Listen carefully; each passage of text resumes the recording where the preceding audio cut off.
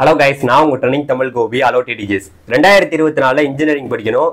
அதுலேயும் படித்தா அண்ணா யூனிவர்சிட்டி கீழே இருக்க கவர்மெண்ட் இன்ஜினியரிங் காலேஜில் தான் படிக்கணும்.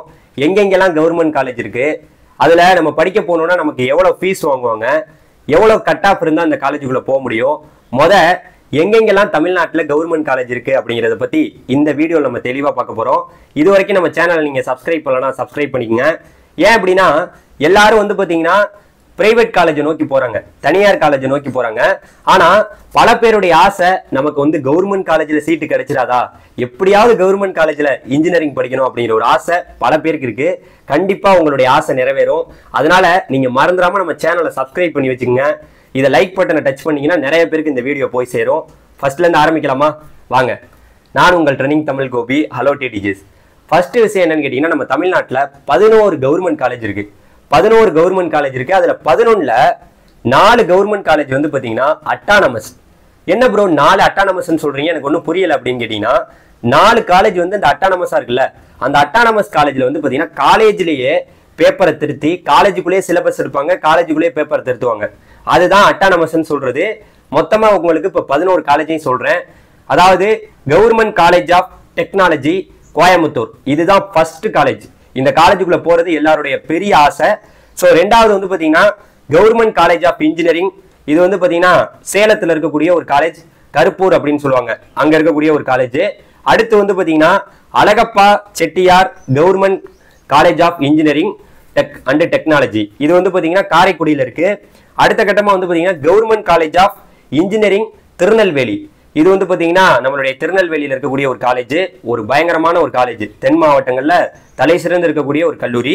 அடுத்து கவர்மெண்ட் காலேஜ் ஆஃப் இன்ஜினியரிங் இது வந்து பார்த்தீங்கன்னா பருகூரில் கிருஷ்ணகிரியில் இருக்குது இதுவுமே ஒரு வந்து ஒரு அருமையான கல்லூரி. அடுத்து வந்து பார்த்தீங்கன்னா கவர்மெண்ட் காலேஜ் ஆஃப் இன்ஜினியரிங் இது வந்து பார்த்தீங்கன்னா ஐஆர்டிடி அப்படின்னு சொல்லுவாங்க. அதாவது இது ஈரோடுல இருக்குது இதுவுமே ஒரு அருமையான ஒரு கல்லூரி. அடுத்த கட்டமாக government college of engineering Sengipatti தஞ்சாவூரில் இருக்கக்கூடிய ஒரு காலேஜ் ஒரு அருமையான காலேஜ் அடுத்து வந்து பார்த்தீங்கன்னா Thanthai Periyar government institute of technology. இது வந்து பார்த்தீங்கன்னா நம்மளுடைய வேலூர். அங்கே வேலூரில் இருக்கக்கூடிய ஒரு காலேஜ் அடுத்து வந்து பார்த்தீங்கன்னா government college of engineering Tiruchi. ஸ்ரீரங்கத்தில் ஒரு காலேஜ் இருக்கு. இந்த ஸ்ரீரங்கத்தில் இருக்கக்கூடிய காலேஜுக்கு பயங்கரமாக எல்லா மாணவர்களும் சேர்க்க சேர பார்ப்பாங்க. ரொம்ப ஒரு அருமையான கல்லூரி. அடுத்து கவர்மெண்ட் காலேஜ் ஆஃப் இன்ஜினியரிங் இது வந்து பார்த்தீங்கன்னா நம்மளுடைய செட்டிக்கரை அதாவது தருமபுரியில் ஒன்று இருக்கு. இதுவுமே ஒரு அருமையான கல்லூரி. அடுத்து கவர்மெண்ட் காலேஜ் ஆஃப் இன்ஜினியரிங். இது வந்து பார்த்தீங்கன்னா போடி நாயக்கனூரில் இருக்கு தேனி மாவட்டத்தில். இதுவுமே ஒரு அருமையான கல்லூரி. கிட்டத்தட்ட பதினோரு காலேஜ் சொல்லியிருக்கேன். பதினோரு காலேஜில் எது எதெல்லாம் அட்டானமஸ் காலேஜ்னு உங்களுக்கு சொல்லியிருக்கேன். இந்த பதினோரு காலேஜுக்குள்ளே நீங்கள் போகிற மாதிரி இருந்தால் கண்டிப்பாக எல்லாருக்குமே கட் ஆஃப் என்பது வந்து பார்த்தீங்கன்னா இது வந்து பார்த்தீங்கன்னா OC BC BCM MBC SC SCA ST அடிப்படையில் தான் ஒதுக்குவாங்க. இதில் நீங்கள் பியூராக கவுன்சிலிங் வழியாக தான் போக முடியும். மற்ற எந்த வழியாகவும் நீங்கள் போக முடியாது.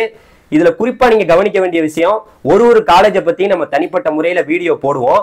ஆனால் மினிமம் வந்து பார்த்தீங்கன்னா நீங்கள் ஓசியாக இருந்தால் கண்டிப்பாக ஒரு நூற்றி எண்பத்தஞ்சுக்கு மேலே உங்களுக்கு கண்டிப்பாக வேணும். கட் ஆஃப் வேணும். மினிமம் நூற்றி தொண்ணூறுக்கு மேலே வேணும். அதே நீங்கள் பிசி பிசிஎம் எம்பிசி இந்த கேட்டகரியில் இருந்தீங்கன்னா உங்களுக்கு கண்டிப்பாக ஒரு நூற்றி அறுபது கட் ஆஃப்க்கு மேலே இருந்தாவே கண்டிப்பாக நீங்கள் போகலாம். எல்லா காலேஜுக்குள்ளேயும் இந்த இப்போ நான் சொன்ன காலேஜுக்குள்ளே நீங்கள் போகலாம். அதே நீங்கள் எஸ்சி எஸ்சிஏ எஸ்டி கம்யூனிட்டியாக இருந்தீங்கன்னா வெறும் நூற்றி முப்பது நூற்றி முப்பதுக்கு மேலே கட் ஆஃப் இருந்தாவே உங்களால் போக முடியும். இதுக்கு ஒரு ஒரு டிபார்ட்மெண்ட்டுக்கும் ஒரு ஒரு டிபார்ட்மெண்ட்டுக்கும் எந்த கட் ஆஃப் தேவை அப்படிங்கிறத நம்ம ஒரு ஒரு வீடியோலையும் டீட்டெயிலாக சொல்லுவோம். ஸோ இதை தாண்டி சொல்ல போனோம்னா ஏன் ப்ரோ நான் கவர்மெண்ட் காலேஜில் படிக்கணும் அப்படின்னு கேட்டிங்கன்னா இதுக்கு ஒரு சிறந்த எடுத்துக்காட்டு என்ன தெரியுமா? உங்களுக்கு வெறும் பத்தாயிரம் ரூபா தான் ஃபீஸ் வரும். இப்போ இந்த நான் சொன்ன இந்த பதினோரு காலேஜில் நீங்கள் கவுன்சிலிங் வழியாக போகும்போது வெறும் பத்தாயிரம் ரூபா தான் ஃபீஸு அதே நீங்க ஃபர்ஸ்ட் கிராஜுவேட்டா இருந்தீங்கன்னா உங்களுக்கு ரெண்டாயிரம் ரூபா லெஸ் ஆகும். ரெண்டாயிரம் ரூபா லெஸ் ஆகும். அதே போல நீங்க எஸ்சி எஸ்சிஏ எஸ்டியா இருந்தீங்கன்னா உங்களுக்கு ரெண்டாயிரம் ரூபா லெஸ் ஆகும். ஸோ இதை தாண்டி சொல்ல போனோம்னா நீங்க செவன் பாயிண்ட் ஃபைவ் ரிசர்வேஷன் ஆறாம் வகுப்பு முதல் பன்னிரெண்டாம் வகுப்பு வரைக்கும் நீங்க வந்து பாத்தீங்கன்னா ஒரு கவர்மெண்ட் ஸ்கூல்ல படிச்சிருந்தீங்கன்னா ஆறாவதுல இருந்து பன்னெண்டாவது வரைக்கும் கவர்மெண்ட் ஸ்கூல்ல படிச்சிருந்தீங்கன்னா நாலு வருஷம் இலவசம். இதெல்லாம் யாரு கொடுக்கறது? இதை தாண்டி சொல்ல போனோம்னா புதுமை பெண் புதுமை பெண் திட்டத்தின் கீழே உங்களுக்கு வந்து பாத்தீங்கன்னா ஆயிரம் ரூபாய் மாசம் மாசம் கொடுப்பாங்க. அது ஒரு சிறந்த இது அதாவது ஆறாவதுல இருந்து பன்னெண்டாவது வரைக்கும் படிச்சுட்டு இந்த மாதிரி பொறியியல் கல்லூரிகளில் போய் இப்போ நீங்கள் ஜாயின் பண்ணீங்கன்னா மாசம் மாசம் ஆயிரம் ரூபா இது வந்து ஒரு ஒரு அருமையான திட்டம். அடுத்து தமிழ் புதல்வன். தமிழ் புதல்வன் பசங்களுக்குமே மாசம் மாசம் ஆயிரம் ரூபா. ஆறாவதுல இருந்து பன்னெண்டாவது வரைக்கும் படிச்சிருந்தீங்கன்னா இது வந்து பாத்தீங்கன்னா இந்த கல்லூரிகள்ல கிடைக்குது. அதனால இந்த கவர்மெண்ட் காலேஜ் கிடைக்கிறதே பெரிய அரிது. நான் இப்போ உங்கள்கிட்ட சொன்ன பதினோரு கவர்மெண்ட் இன்ஜினியரிங் காலேஜ்ல அஞ்சு கவர்மெண்ட் காலேஜுக்கு பயங்கர போட்டி இருக்கும். அது எது எதுன்னு உங்கள்கிட்ட சொல்லிடுறேன். First government college of technology Coimbatore. இதுல சரியான போட்டி இருக்கும் இந்த காலேஜுக்குள்ள போறதுக்கு. அதே போல government college of engineering Salem. இதுக்கும் பயங்கர போட்டி இருக்கும்.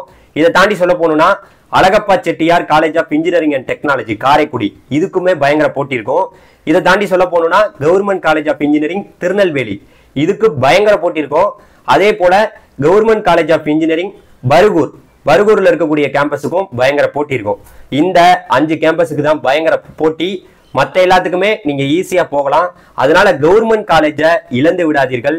இலவசமான ஒரு படிப்பு குறைந்த நமக்கு பணமே இல்ல என்ன பண்றதுன்னே தெரியல அப்படின்னு நினைச்சீங்கன்னா நீங்க எந்த டிபார்ட்மெண்ட்டை வேணாலும் எடுத்துட்டு இந்த கவர்மெண்ட் காலேஜுக்கு போகலாம் பிளேஸ்மெண்ட்டை பத்தியெல்லாம் நான் ஒரு ஒரு வீடியோவா தனிப்பட்ட முறையில ஒரு ஒரு காலேஜை பத்தி நான் சொல்றேன். இப்ப சொன்ன பதினோரு காலேஜுக்கான தனிப்பட்ட வீடியோ நம்ம சேனல்ல வரப்போகுது. அதனால நீங்க சப்ஸ்கிரைப் பண்ணி வச்சுக்கிட்டாதான் இந்த மாதிரி எல்லா வீடியோவும் நீங்க பார்த்து ஒரு நல்ல காலேஜில் நீங்க சேர முடியும்.